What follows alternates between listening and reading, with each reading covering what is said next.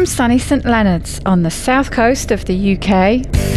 This is the Keto Woman podcast, brought to you by me, Daisy Brackenhall. Hello, Keto Lovelies. Welcome to episode number 233. Today, I am joined by my good friend and Monday Mindset co host, Terri Lance, to bring you an episode we actually recorded quite a few months ago now. I'd kind of forgotten that I had it, it was there floating around in the back of my mind. The idea for the episode came from, as you will hear, some some of the videos and different podcasts and things that I've been editing for the fasting method. Loads of really useful information coming in. But just a few of the things that Terri had been discussing really resonated with the starting out keto, but also as you're going along. Just, you know, how to deal with people who question you about it, how to deal with anything really from the curious to the downright argumentative, basically. But then also just getting over that initial withdrawal hurdle. And of course, that's that initial withdrawal hurdle, but it's also that repeat withdrawal hurdle when maybe we're, you know, getting back on things, tightening things back up after a period away on holiday or overindulgence in things we don't normally eat, maybe just overindulgence in keto friendly foods. I don't know about you, but I can certainly get into the habit of having things like keto ice cream and nut butters and dark chocolate a little bit too often. And that starts to become a bit of a problem. And when I come to you know, tighten things up a little bit, get a little bit more strict, because ultimately I do feel better when I'm eating the majority of the time anyway, a little bit more strictly. It's a little bit challenging because, you know, a big part of me doesn't want to give up those things. Thank you very much, even if it isn't all the time. So, this was designed to be, I mean, it's a Mindset Matters episode, but it was designed to be part of the Keto Curious series, which of course I still haven't finished. I have some notes written down for um, two or three more episode ideas, so I will try and get on with those and bring those to you. Hopefully, you will find those interesting. But other than that, very, very quick roundup. I always say that, don't I? Then I ramble on for ages. But I have got to be quick because I've got a Zoom meeting with my lovelies in just a few minutes. I'm finally getting round to starting on some of that building work, only about a month later than I'd planned. Uh, but I really do have to start getting on with it, or before I know it, the summer is going to have run away with me and it's going to be much, much more difficult to get things done. So I went and got myself a really good mask. I'm a very bad DIYer, and in the past, I've hardly ever worn a mask when I'm doing things that are very dusty or very stinky, you know, things like stripping paint. And that is really not very good for my health. And, you know, if I'm going to alter my diet and lifestyle to try and improve my health, it seems a little bit silly not to bother with a mask. So I went and got myself a proper one with proper filters so I can get stuck into doing all the dusty, stinky things that I need to do. I will let you know next time I'm back talking to you how that goes, but I really need to make a concerted effort and get on with things. One of the reasons everything's been dragging along, building work, everything, bringing episodes to you, is I just have not been feeling good for oh, several months now, I'd actually got to a place where I was feeling really good. You might have remembered I was building a regular fasting routine, and that is still in place. It still slips and slides a bit here and there. But most of the time, I do fast for three days a week. I'm still basically just doing around about um, three days of one meal a day. I haven't progressed past that. But that's okay. It's more important to me just to maintain that Monday, Wednesday, Friday, three days a week routine. I was feeling really good. I was feeling so good that I'd even considered and went to the extent of trying to find myself a personal trainer to start learning how to do some uh, body weight, weightlifting type exercises. I wanted to, I was very specific with my needs, which is why it wasn't too easy to find somebody. I wanted to work out down by the sea. I've seen some other people doing that with personal trainers, but the people who do it didn't have time at the time I wanted to do it. So I didn't end up booking anything at that time. And then I basically I fell off a cliff. I had a bagel. I will actually record an episode all about that and, and tell you my thoughts and uh, what I think might have happened. And I, I don't know 100% that it was the the bagel, the wheat, the gluten that triggered uh, a really bad, actually, for a period of time, depressive episode. But it's basically stayed with me, not as bad as it was to start with. Like I say, I'll come back and I'll talk to you about that because I do have some thoughts and some theories that I've garnered from other people that I think might interest you. Um, but basically, I haven't been feeling good since then, which was really, uh, was, there was, it was just after my sister visited, so it was the end of May.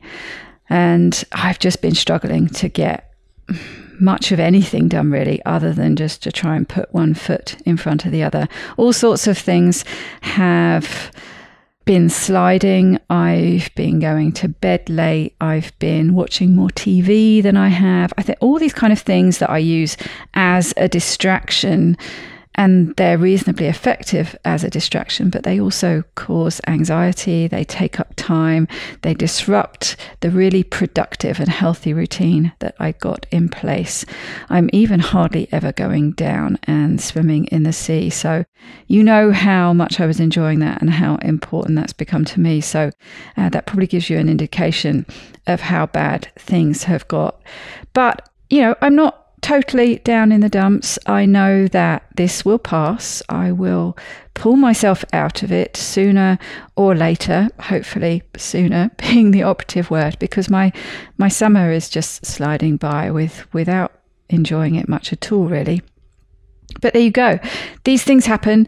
Um, there's not an awful lot I can do other than try some of the things I try. But the, the problem is the thing uh, the hole we find ourselves in. I think any anyone who knows what it's like to have depression and anxiety will know where I'm coming from. Is that you know the things you need to do to help, but you don't feel very much like doing them. So it's this constant sort of push, pull, struggle to get out of it. But sooner or later, I will and hopefully, uh, you know, things will start getting better. Other than that, dogs are all well. I have hilariously just bought, and it arrived today, so we might get to trial it tonight. One of those baby wrap sling carrier things for Bets. You might remember months, if not years ago, I tried to find a dog carrier for Bets because she often gets very tired when we go out for walks and basically and it ends up with me having to carry her home and that's been happening a lot lately I've been having to carry her nearly all the way home and bearing in mind she weighs about you know a bit more than a sack of cement. She weighs 10, 11 kilos at least. And when she's holding herself for weight, she kind of likes to be held facing forward. So, you know, one of those baby carriers I thought would work. I, I tried some doggy ones, front ones, rucksacky ones on the back. They just were not working. And I've basically just been carrying her. And when she's awake and kind of holding herself, it's not too bad, although it's difficult because I mostly have to do it just with one arm because I've got the other two dogs holding their leads with the with the other hand. Um, but someone suggested one of those sort of wrap contraptions, which is basically just like a really long piece of cloth that you wrap around yourself in a semi-complicated affair, and then you kind of tuck them in and You'll know what I mean if you've seen them. If you haven't, I'll get someone to take a picture at one point. Uh, now, I know before you say anything, I'm going to look utterly ridiculous, but basically, I'm I'm of an age and disposition that I don't much care. Her health and well being and being able to come out for a walk. You know, what often happens is that I end up sneaking out and leaving her at home. And she really like does like to come with us, but on the other hand, she can't quite manage it. And I can't quite manage carrying her home every time. You know, she's she's heavy. Oh, I think I started saying, didn't I, that she kind of holds herself and takes some of the weight, but I can feel when she falls asleep because invariably she does fall asleep about halfway home because she suddenly gets a whole lot heavier. So it's possible. I've been doing it, but it's difficult. So I figured one of these things, one of these contraptions, someone um, suggested it to me the other evening in the park. Might be a good idea. So I've bought one. I've already tried it out. She certainly seems happy with it. It's definitely taking some of her weight off me, off just that sort of one arm trying to carry her. So I'll probably give that a try this evening. We've been going out in the evenings because one, I've been getting up a bit late, and so it's been hot, too hot when we've been due to go for a walk. But we've also found that going in the evening, about eight, half past eight, the park has been really quiet, and Rocket especially seems to really enjoy it. You know, we don't bump into any of the dogs that he doesn't get on with, which is um, less stressful for all of us. So we've been going in the evening. So I'll give it a try this evening and let you know. And I'm sure somebody at some point will take a picture for your amusement. So I will post that when I've got one to share with you. But other than that, everyone's well. The sun is still shining, although it's a bit windy at the moment, and it's been very warm. It has been a very, very hot summer so far. But I said I was going to be quick, and of course, I wasn't overly quick, and now I'm running late for my meeting, so I really must go. Um, I hope you are well, and I'll see you back here for uh, a quick sign off at the end. In the meantime, enjoy another Mindset Matters episode with the very wonderful Terri Lance.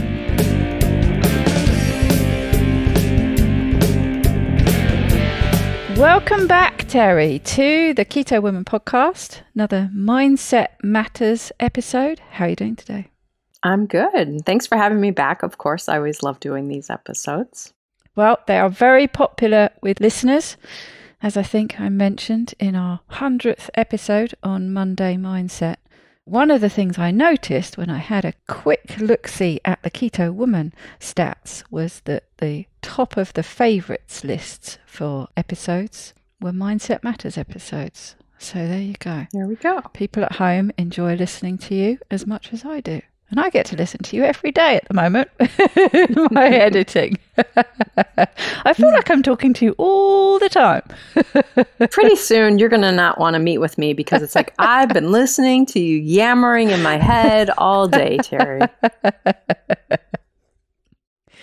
So I thought it would be nice. We're sort of back to the keto curious, starting off keto series, and I thought it would be nice to have a bit of a chat about a couple of things, but really thinking about that, getting started with a new way of eating, with a lifestyle change, how to get through that first withdrawal period, I suppose, adjustment period, getting used to the new way of eating, but likely, the likelihood is that there's going to be some sort of withdrawal side effects and cravings and things like that.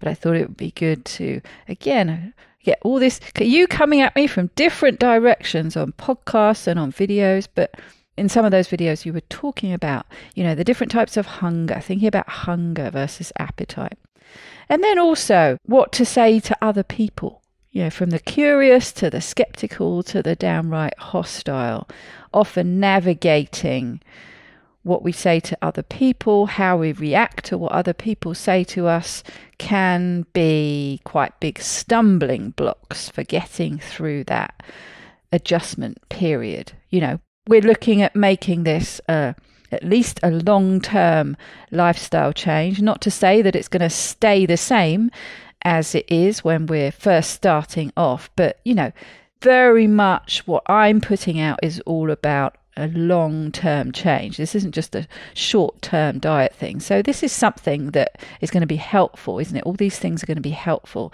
to learn how to navigate going forward. Long introduction there.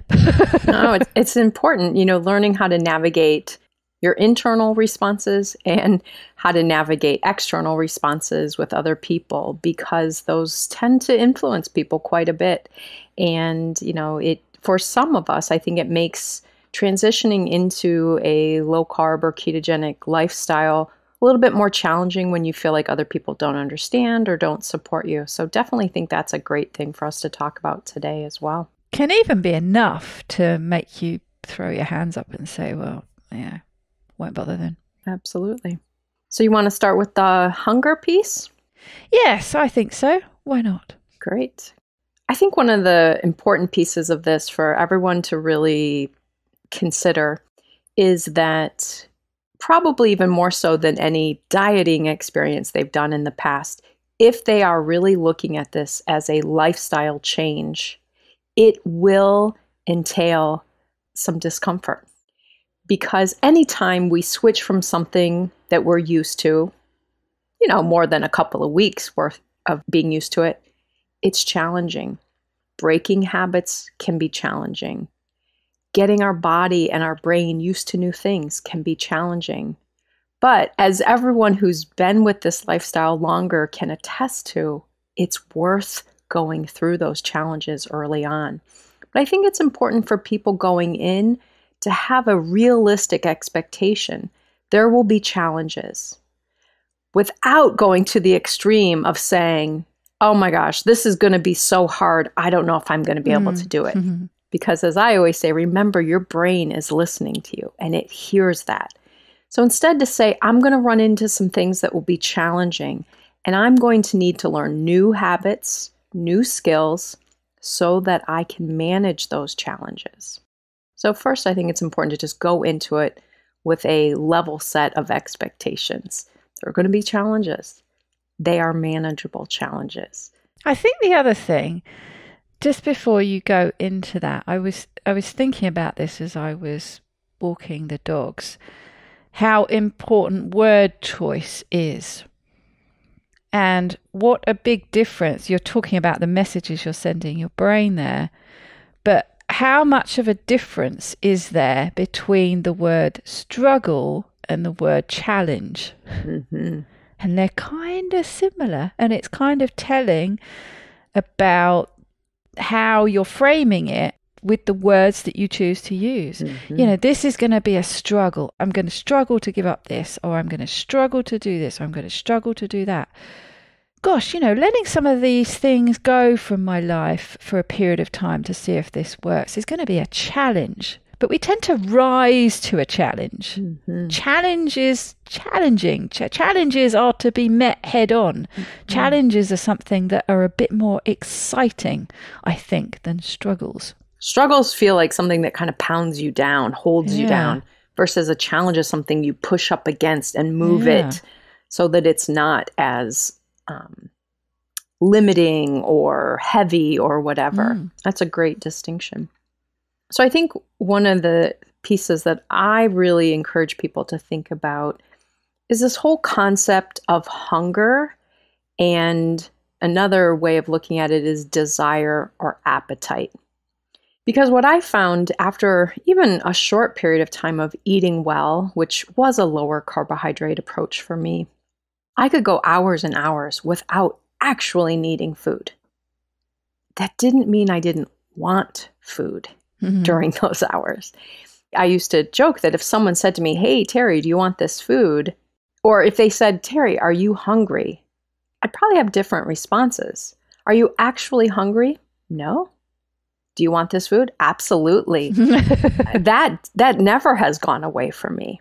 But I really have had to learn to distinguish between what does it mean to be actually hungry, a need for food, versus I would like food.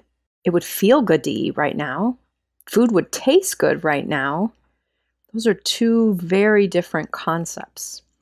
And I think most of us, for much of our lives, have not separated those two things out. So I try to think about what is actual hunger and what are actual signals of hunger. Just obsessing about food does not mean that you're hungry. But your brain may be seeking energy. Your brain may be seeking comfort. Your brain may be seeking something to do. That doesn't mean hunger. So, I always attribute this to Coach John at the Fasting Method because that's where I first heard someone mention it that they had heard it from him, but I'm sure he got it somewhere as well. But if you really think about a way to kind of frame up your hunger and check in with yourself, the ones that I would encourage people to, to think about are head hunger. So that means I'm thinking about food. I've got this in my mind and it sounds good. And then thinking about heart hunger.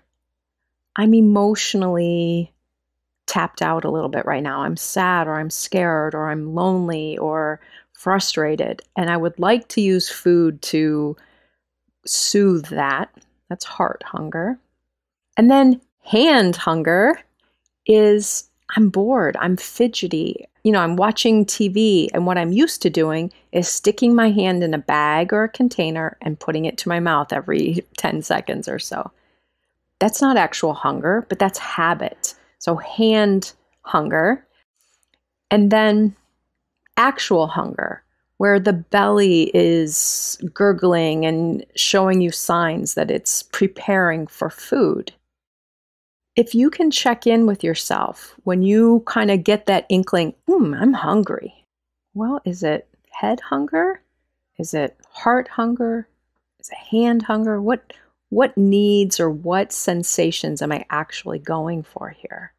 And then to think about if it's actual hunger, then I can make some choices about what to do about that. If it's other hunger, then I need to make choices not about food related to that. I need to do something else with my hands. I need to find some other coping strategies to deal with that emotional pull. Or I need to give my brain something else to focus on rather than looking at 24 more cheesecake recipes um, on social media. So I think that's a really nice beginning for people is just to check out how is this hunger actually affecting me? To differentiate is it actual physical hunger versus these other signals that we may get? Because actually, just identifying it could be enough to not go and eat. I mean, it might be that you then need to replace it with something else. You know, if it's a hands hunger, you might need to be doing something else. If it's like you say, if, if it's a head's hunger, it's a bit like when you, you know, you get a song in your head and you can't get rid of it and you just can't stop thinking about food. Well, you know, stop feeding that by looking at the images. But I think particularly maybe with the emotional hunger, I think actually just realizing, mm-hmm. you know, stopping and thinking every time you think you're hungry is just, you know, taking a moment, taking a bit of a time out and identifying that hunger to start with. And that will then probably lead you down the path of finding an alternative or just saying, oh, okay, yeah, I'm just, you know, I'm feeling a bit angry or sad or emotional. And that's enough to for you then to say, yeah, food's not really going to help much with that. Mm-hmm and that might be enough to break the cycle. Mm-hmm. But yeah, I mean, if it's actual physical hunger, and I think it's become a bit of an old fashioned concept this concept of building a healthy appetite for your meal. Mm. The, yeah, that is what we're supposed to do. We're supposed to get hungry.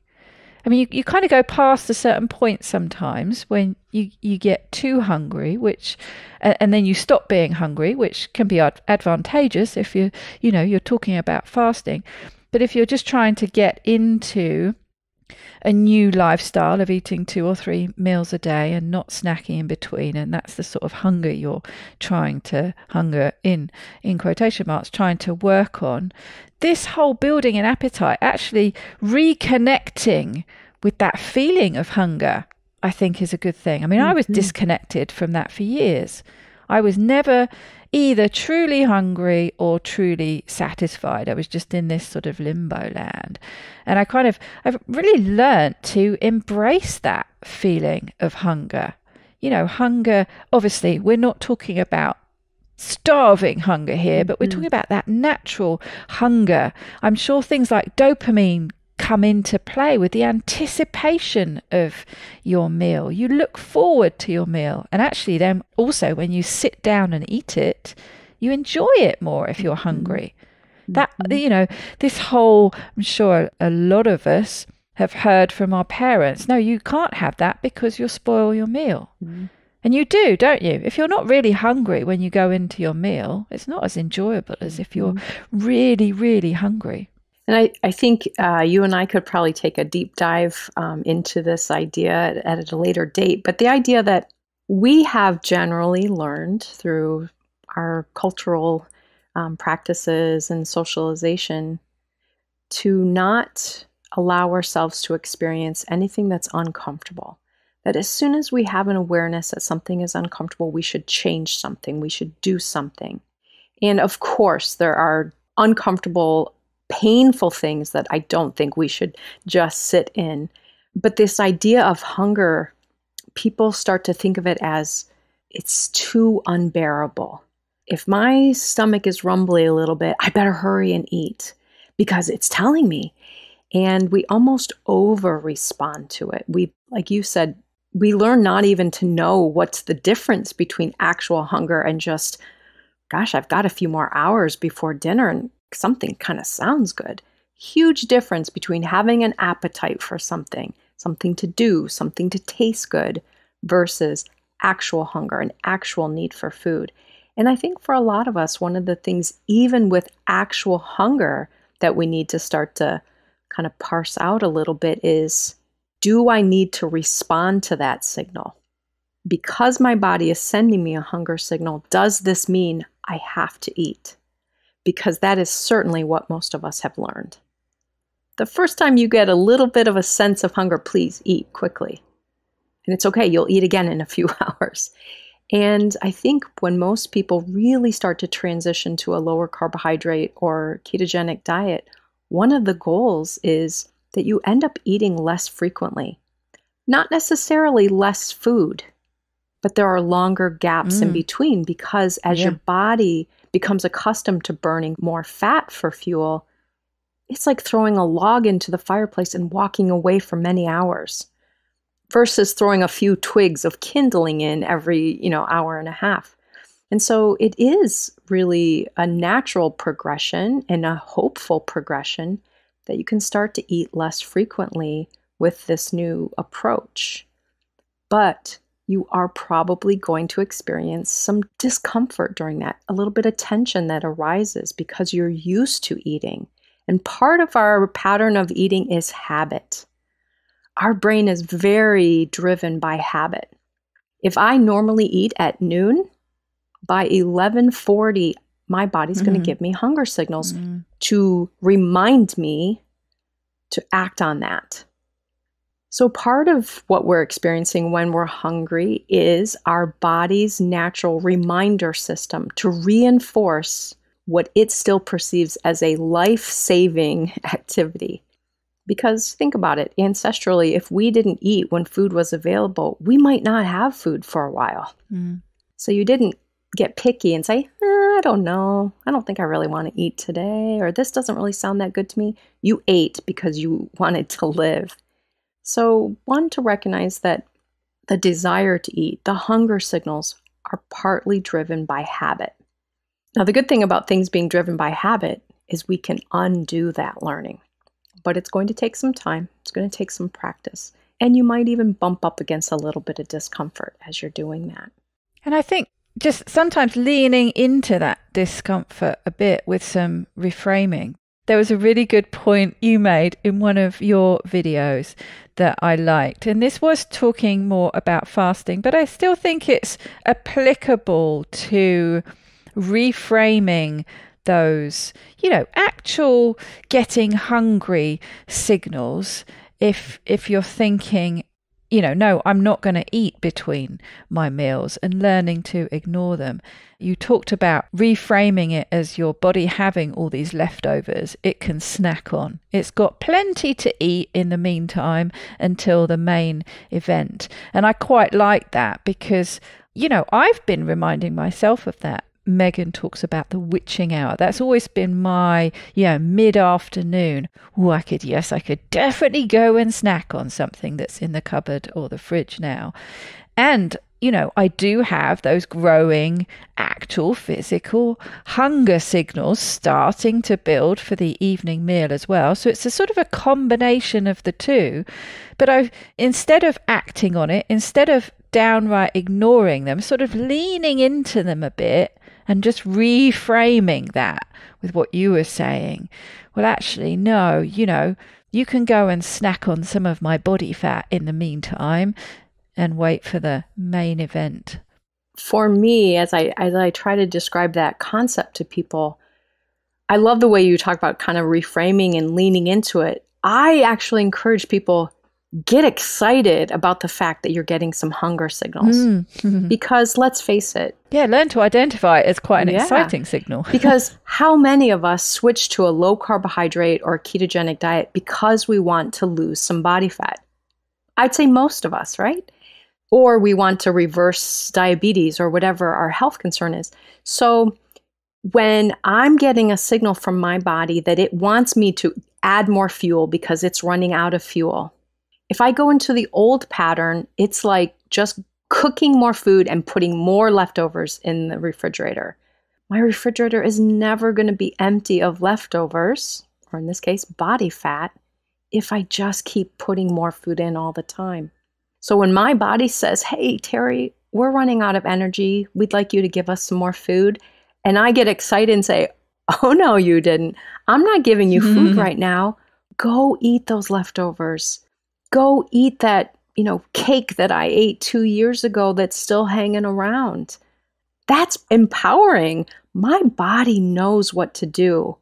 We actually interfere by giving it food every time we get that inkling that it needs something. By delaying it from getting more food, we actually prompt it to go burn body fat. And I'm pretty sure most of us want that happening. Mm. Yeah, like you say, even if it's not your main motivation, it's more often than not a very pleasant side effect. Absolutely. Absolutely. So I think making it an actual positive thing rather than something to dread happening. Mm.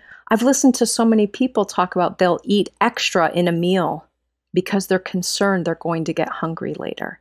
Well, if you can reframe that, if I get hungry later, that will be awesome because then my body will go in and start burning some body fat. I don't need to worry. I don't need to um, buffer my system right now by eating excess. I can eat just for this meal, an appropriate meal, and risk the experience of getting hungry later and letting my body do that magical work that it's going to do. And from, you know, I would say 99.9% of people listening, there will be another meal available. It's not, I have to eat extra now because I don't know if there will be food. And so, again, teaching the brain there's no panic, there's no danger. If I get hungry at four o'clock and I'm planning to eat at six, I can tolerate that couple of hours. I can turn it around. Mm, exactly. Well, it's definitely something I've been using. Yeah. So, another thought I have about hunger that a lot of times people say, well, how do I really differentiate if it's I really need to eat or I just have an appetite or a desire or an emotional need or whatever? So, one thing I always encourage is pick two food items that you can tolerate, they're okay, but that you don't really love. Mm-hmm. So for me, that would be salmon and steamed broccoli. Okay. When I say, Ooh, I'm hungry, and I start heading to the kitchen, I stop myself and say, Terri, would you eat salmon and steamed broccoli right now? Nine times out of 10, my mm-hmm. answer is going to be no. Mm, maybe not. That's right. No, what I really fancy. that means I'm being driven more by a, a want of food, a desire, a desire for comfort, a taste, whatever it is, not for actual need of food, then I can turn around, leave the kitchen, and work on addressing that or just sitting with that. But using that kind of a less desirable food. Now, if I, you know, Terri, do you want steak and a delicious salad right now? Yes. that's not helping me differentiate if it's hunger. So pick something that's kind of a, a food that you don't love, but you will tolerate. So it's not disgusting to you. Mm. And say, but you'd definitely eat it if you were hungry. that's right. That's right. And again, I think a lot of us don't even really have a grasp of if we were really hungry, we would eat things that sound actually disgusting to us because mm. our body would be so much driving us for the need. And many of us don't really experience that. Mm. So, the other thing that people struggle with a lot, I think, is other people. Mm-hmm. You know, dealing with anything from even just the curious. You know, you might feel a bit under pressure to have all the answers. You might just not want people focusing on you and asking you questions to getting a bit more skeptical about it and again feeling like you've got to defend it to people being downright hostile you know yeah i've heard of this keto diet and it's you know it's only supposed to be for epileptic children and you're you know you're going to give yourself a heart attack and you're going to do this and you're going to do that and i know someone who was on keto and they wrecked their metabolism or they did this mm-hmm. and they did mm-hmm. that and it's just like you know just I'm just trying to get used to it myself. How do we deal with that? Because often it's it's really difficult. Is I certainly find it very difficult to avoid conversations. If someone asks me a question, I feel obliged to answer it. I know this comes under the heading of setting boundaries and things. A lot of us struggle with that. So, you know, uh, you've got some suggestions for how we can navigate some of these difficult or potentially difficult conversations. I know this is one of those examples of this may be easier said than done in certain situations, but I, I think the first tactic I would use is to downplay it. If I walk into a room and say, Well, I eat keto, so let's see what I can eat, I've already raised all the red flags, and people now are getting all of their defenses going or questions or whatever. Especially now it's mainstream. You know, before it would have been, what is this keto thing? Right. Now it's, well, I know all about keto because I've been, you know, reading about it here and watching about right. it there. And I've got a very strong opinion about it, which right. I'm going to share with you. so, again, in my sharing anything about it at first, I might not use the label, I mm-hmm. might not use specifics. So, if someone says, Oh, you should really try this lasagna, I might say, you know, lately I haven't been eating pasta because I feel better. It's a way to downplay it and slide it off a little bit to get less of a response. They might say, well, that's weird. I love when I eat lasagna. Well, that's great. It just doesn't work really well for me. Mm. And we can just kind of avoid the more confrontational discussions if we do that. I think, especially if we focus on, I'm doing this for me. I'm not saying everyone here should do this. I'm not saying lasagna is a horrible food. I feel better when I don't eat pasta. I notice that when I eat pasta, my blood sugar is higher. I get sleepy soon after. I don't feel as well. So I've just been working on not eating it.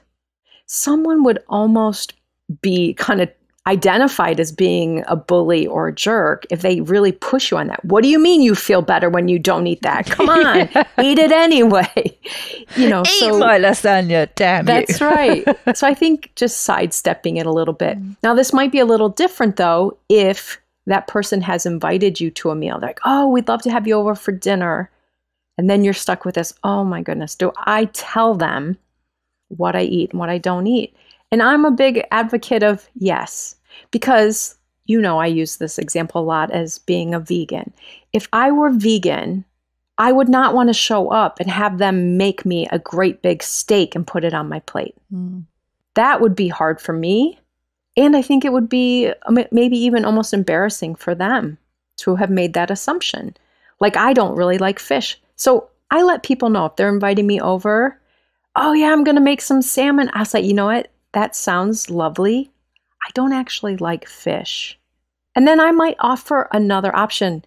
Would you rather go out to eat or, you know, so that they don't have to feel pressured into mm. cooking what I eat necessarily. But most people, if they're extending an offer to you, to, an invitation to you, they want to meet your need. So I think it is important to say it. Now, I might not go into every detail, like I don't eat this, I don't eat this, I don't eat this, but to say, I don't eat things with pasta, or I don't eat bread, or I don't eat anything with sugar get your main categories out there.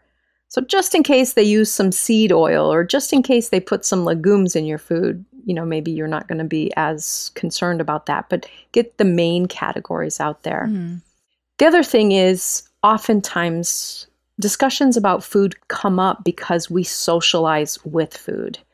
We go to a coffee shop and grab a dessert while we're having coffee. We plan a meal together. We see each other because we're going to a meal. I would encourage you to start offering some other ideas of how to spend time together. Make it less about the food. Or if you meet someone out for coffee and they get a brownie or whatever, you just have your coffee. Aren't you going to have a brownie? Oh, no, I've already eaten today, or I'm going to eat in a couple of hours. I don't want to spoil my dinner. Mm-hmm. Again, you don't have to go into a whole explanation and defense of the ketogenic diet to just sidestep it. What happens because I've I've um I've experienced this scenario and I'm sure others have. So go back to that example where you're going out for coffee with a friend and maybe you're used to having cake or sharing cake. That's, you know, that's something that you normally do. So there, you know, they've been looking forward to going for a coffee and a piece of cake and you're not having one. And they sort of naturally maybe feel a bit judged for having one themselves while you're not having one. Well, oh, come on, have one because I can't have one if you're not having one. Mm. Or perhaps we could share because, you know, I don't feel right about eating one if you're not. How do you deal with that one? Again, I would emphasize why it's not something that works for you so that mm. they don't feel judged for themselves, but to say, you know what, I've noticed that when I'm eating sugar, I don't feel well for the rest of the day. Or, you know, last time I saw my doctor, I was diagnosed with prediabetes. And one of the biggest things I can do is to eliminate eating processed foods and sugar. Again, what person is going to say, Oh, I know, but who cares if you have prediabetes? Just share this cake with me. Mm. And if that actually is their response, then I might do some reevaluating of that connection. But make it clear I don't mind at all if you eat it. I just don't feel well when I eat it. So I'm going to pass today. Don't you want just a few bites? No, actually, I don't. But please enjoy it. It looks really good. Mm. Try not to make as big of a deal of it. Pass it off as, you know, I'm okay with this. Yeah, I guess it's trying to take the pressure off and trying to make it 100% clear that there's no judgment on you eating it. Mm-hmm. But ultimately, when I've made my point, if you are going to feel judged and you're not going to enjoy it unless I have some too. Well, that's on you. mm-hmm, mm-hmm. Don't have yeah, it. and at some point it might be you Let's know if you coffee. if you really don't feel comfortable eating that, if I'm not eating that, mm. you know, do you want to go somewhere home. else? Do you want to go mm. for a walk instead, mm. rather than feeling almost bullied to give yeah, in to yeah, what they want you to do? Mm. And then I think, you know, sometimes you're going to just run into people who think they know everything and they their opinion matters and so sometimes I would then just pull out something that kind of stops the conversation. Oh, come on, just having some cake today won't be a problem. Oh, I wish that were true, but I've noticed every time I eat cake recently, I then end up in the bathroom with diarrhea. I just, it's just not worth it to me today. that will probably end that conversation. Certainly should. like you say, if it doesn't, you maybe need to reevaluate what's going on That's with right. that relationship. That's right. And then the other thing I would just say in general, I look at this as it reminds me of a topic that I learned as a kid. You don't ask certain topics of people, you don't discuss their political beliefs, you don't discuss their religion, you don't discuss or ask how much they make for a living. And I feel like what I eat is like this. I can politely respond and turn the conversation away from it. I don't have to get into a defense of the way I'm eating. So if someone pushes it to say, you know, I kindly just want us to stop here. If the best thing we have to talk about right now is what I'm eating, I think we might need to pick some other topics, or maybe we're done. Maybe we need to get off the phone, or maybe we need to wrap up here because it's not a topic I'm going to put out here on the table for us. It, this is my decision, and I've not opened it up to other people's opinions or influence. You know, setting a clear boundary. This mm-hmm. is not something I'm going to talk about with you. Yeah, and also just to say, you know, this is something I'm getting to know and get used to myself. You know, I mm-hmm. I don't feel in a position yet to be able to lecture you on the subject. Mm-hmm. It's yeah, it's something I'm getting familiar with myself. Mm-hmm. So, you know, let's have this conversation a few months down the line when I know a bit more about it and give you yep. a bit more information. And you will also have a little more evidence at that time. So, let's say you come back a couple months later and you say, Well, I've lost 15 pounds doing this, they're probably going to have a little harder time pushing that this is wrong or bad. Um, so, definitely delay tactics can be important. Exactly. Well, brilliant. I think, as usual, that's some really helpful information and given people things to think about. But could you leave us, please, with a top tip? I would say a top tip, and I know this is an overused tip, but I think it's really important. Know why you're doing what you're doing. Are you doing keto or low carb because it's a fad, or are you doing it because you believe in it and you believe in the results that are possible? If that's the case, then you need to give yourself a chance to prove how well it works for you and doing it inconsistently, giving in here and there, giving into hunger, giving into cravings it's really not a full commitment to this plan that you say that you believe in. So if you believe in it, give yourself 100% and do it even though you reach some points of some discomfort or challenge. Rise up and keep doing this for yourself so that you can see those results. Perfect tip. Thank you very much. Absolutely. Thank you, as always, for sharing some of your time with us. Very much appreciate it. Thanks, Terri. Very well. Thanks again for having me, Daisy. See you next time. All right. Bye bye.